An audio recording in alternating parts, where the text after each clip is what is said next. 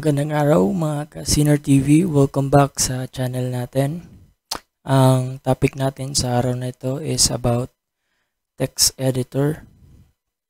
So meron tayong apat na text editor na susubukan ngayon. So simulan na natin. Dito meron tayong Dreamweaver RG Text Editor, Visual Studio Code, at saka yung panghuli ay Notepad. So, subukan din natin yung mga feature nila kung anong meron. So, ano ba ang text or code editor? Ano naman ang word processor? So, anong pagkakaiba nila? Ang text editor ay nagsisave lamang ng plain text. Walang formatting o kung ano-ano pa mang data related sa format.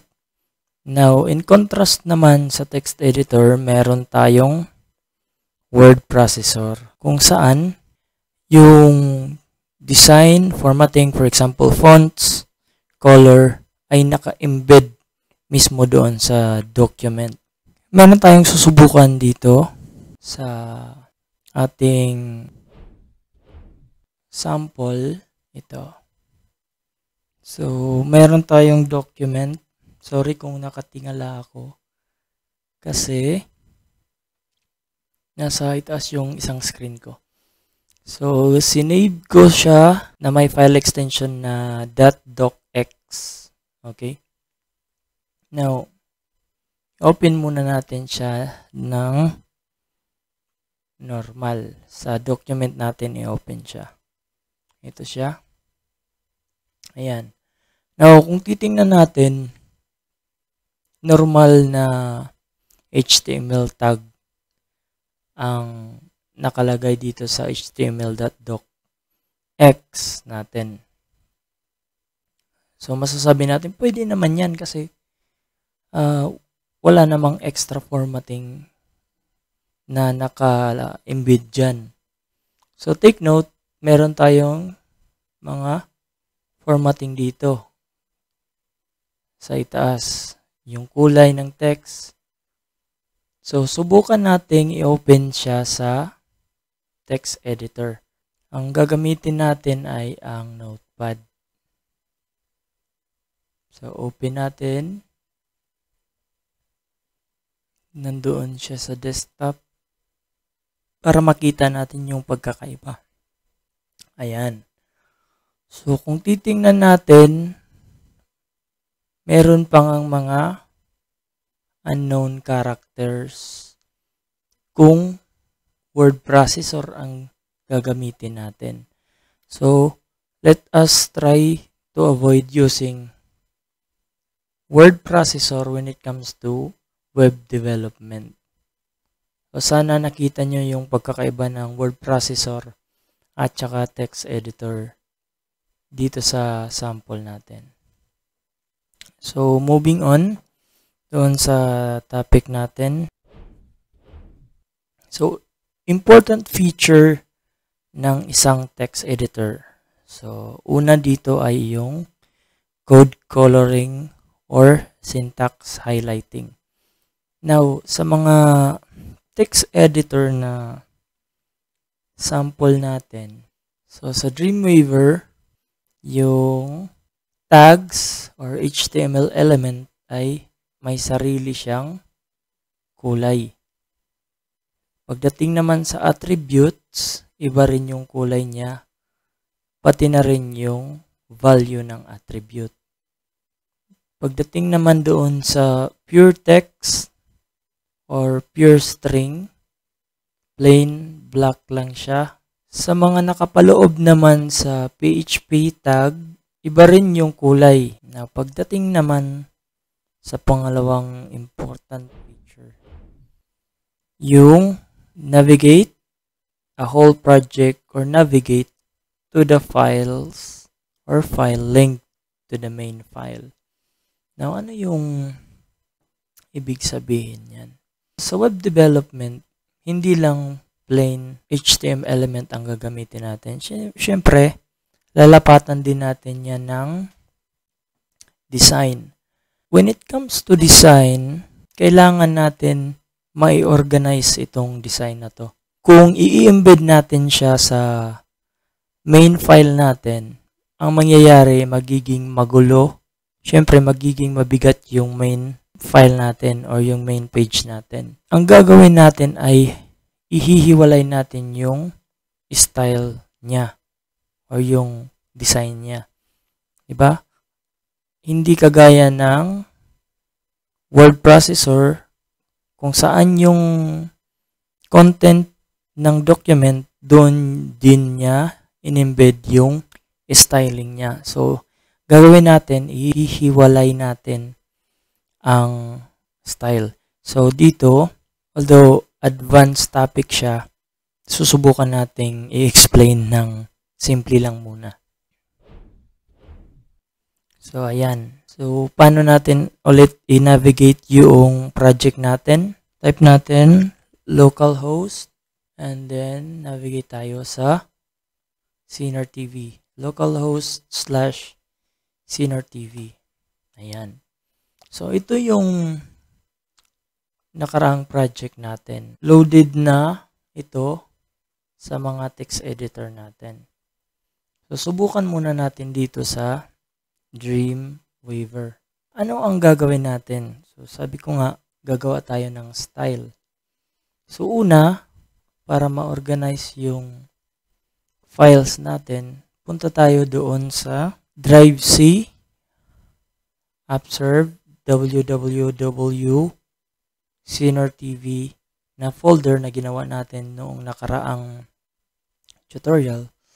Then, gagawa tayo ng bagong folder. Now, sa web development, ang tawag sa style sheet is cascading style sheet. Ang pinaka-acronym niya is CSS, cascading style sheet. So, ayan. Na-create na natin yung folder na yan. Punta tayo doon sa Dreamweaver. Create tayo ng isang style sheet. File, new. Yan, CSS, cascading style sheet. Document, create. Ayan. So, by default, meron siyang apat na lines. Hindi lang natin gagawin yan isi-save natin siya doon sa folder na ginawa natin. So, file name is style.css. So, ayan. So, close natin siya. So, paano yun malilink dito sa main page natin? So, simple lang. Lagyan natin ng link type text CSS real yung relationship na niya dito sa uh, index.php style sheet siya. Ayan. And then saan nakalagay ang file? So browse natin. So automatically na navigate tayo doon sa CSS at style.css file. So, select yung file, click OK. Ayan. So, para mas klaro, ayan. So, ginawa natin, linagyan natin ng link, type, my value text slash CSS, relationship ng index.php dito sa style.css, is style sheet and then yung location ng file. Save natin ito. Ayan. So dito, kung navigation ang pinag-uusapan, tingnan nyo, lumabas yung style.css dito. So hindi mo na kailangan pang i-open sa panibagong tab ang style.css kasi andito na siya. Now, subukan nating maglagay ng style. Okay? So, bago yan, lagyan muna natin ng class.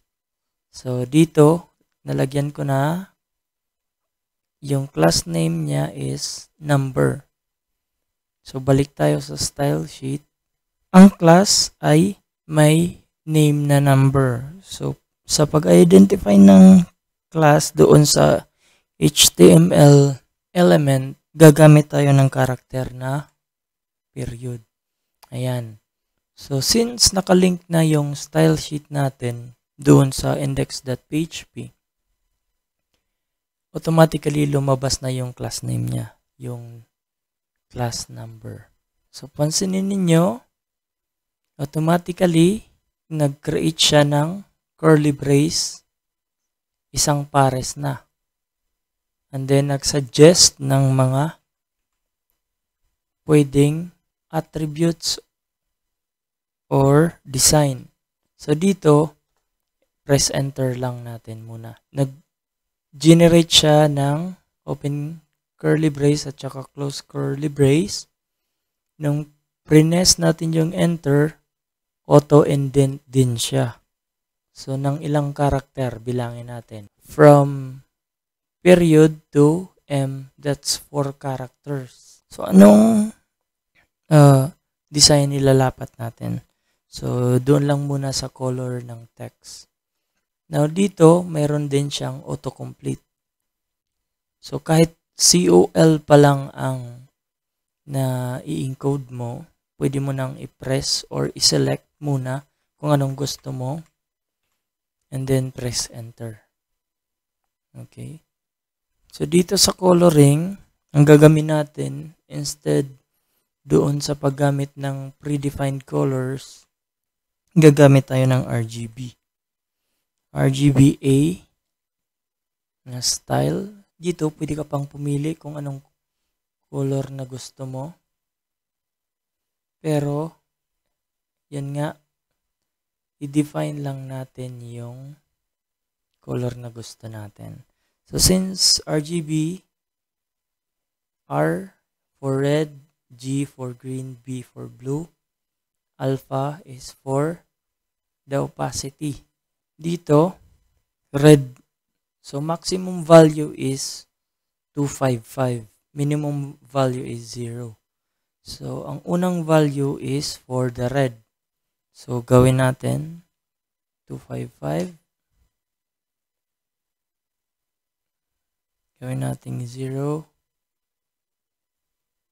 At yung green, yung blue, 0. Yung opacity, yung maximum value niya is 1. So, kung gusto nyong mukhang nag-fade yung color ng text, pwede nyong gawin yan. So, close natin ng semicolon.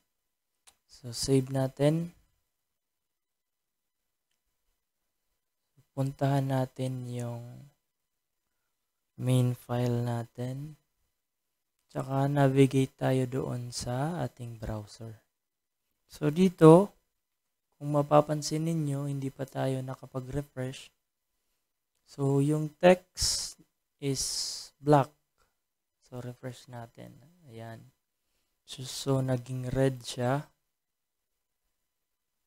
So kung gusto nating i-implement sa lahat ng select element ang ganyang formatting, yung color ng text. Ang gagawin lang natin ay lagyan ng class.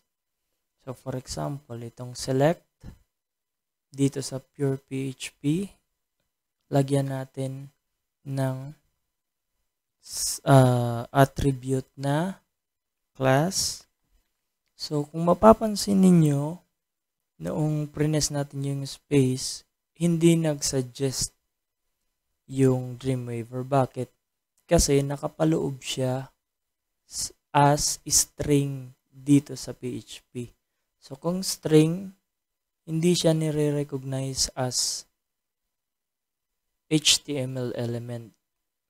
So, pure string lang talaga siya. So, double quote, double quote. So, in between, ang pangalan ng class which is number. Save. Ayan.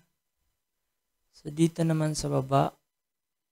So, since ito, hindi siya naka-enclose dito sa PHP delimiter natin, meron niyang lalabas. Kasi recognize siya as HTML element. So, puro na lang enter yung ginawa natin. Napakadali. Balik tayo doon sa browser natin. Refresh. Ayun. So, dito, makikita natin, nag-iba na yung text color niya.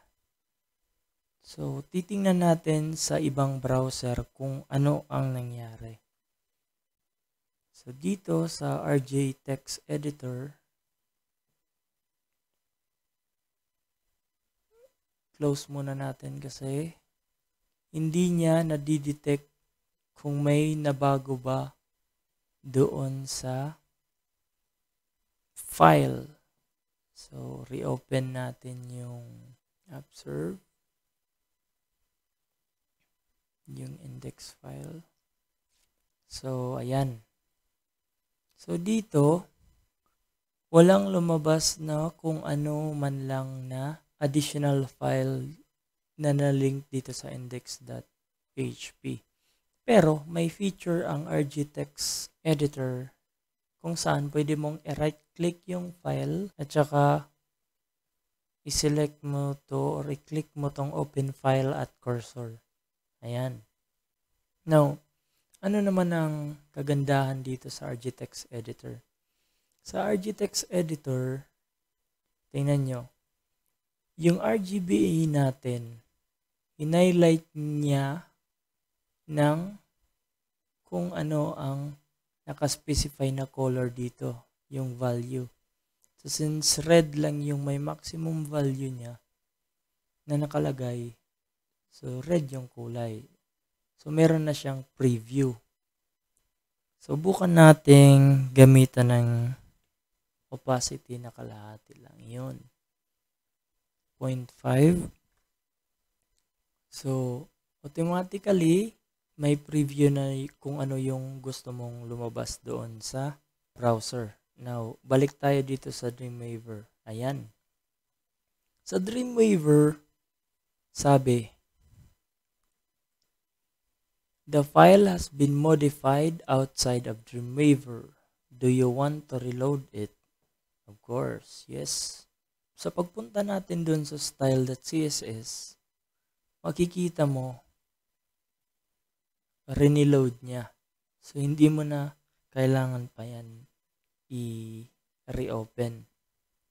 Now, doon naman sa browser, i-check natin kung na-change nga ba yung kulay ng text. So, take note of the color red, refresh, ayun, nabawasan. Dahil nga doon sa alpha na 0.5 doon naman tayo sa Visual Studio Code. Ayan. So, sa Visual Studio Code, wala ring nadidetect kasi nga hindi pa naka-open yung file. Now, dito, walang option para makita mo yung nakalink na CSS file sa index index.php. Pero meron siyang easy way para makuha yung file or ma-view yung file. So, dito siya sa arrow na to. Click mo tong arrow na to, lalabas yung folder, Senior TV, yung subfolder na CSS, pwede mo nang i-click yung style.css. So, dito naman sa VS Code text editor, meron din siyang preview ng RGB